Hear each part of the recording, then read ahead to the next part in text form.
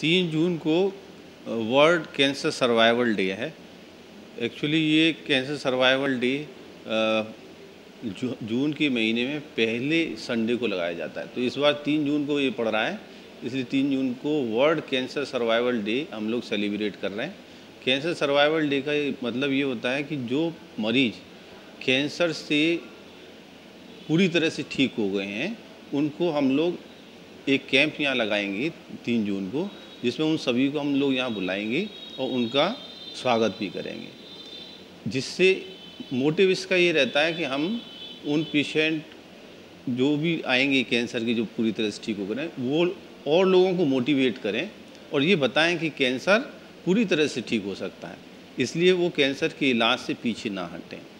इस तीन जून को जो हम जो कैंप लगाने जा रहे हैं, उसमें हम सारे और लोगों का स्क्रीनिंग टेस्ट भी करेंगे। स्क्रीनिंग का मतलब यह है कि अगर कोई कैंसर उनके अंदर बनने तो नहीं जा रहा है जैसे तम्बाकू वगैरह खाते हैं, इनको गले में कोई परेशानी है या किसी को दर्द की शिकायत है तो उनका हम चेकअप करेंगे एंडोस्कोपी जाँच भी करेंगे, दूरबीन से लेरिंगोस्कोपी वगैरह भी करेंगे, जिससे कि हम, अगर किसी को कोई ऐसी तकलीफ़ होने जा रही है कैंसर बनने जा रहा है तो उसको हम अर्ली स्टेज पे हम डायग्नोस कर सकें।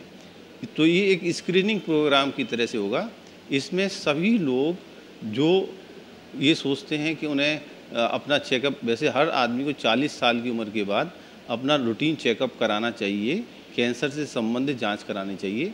वो सभी जाँच हम लोग यहाँ करेंगे और निशुल्क करेंगे। इसमें और डॉक्टर्स भी सम्मिलित होंगे, जो विशेषज्ञ डॉक्टर हैं, जिससे कि हम इस के माध्यम से मरीजों की स्क्रीनिंग कर सकें।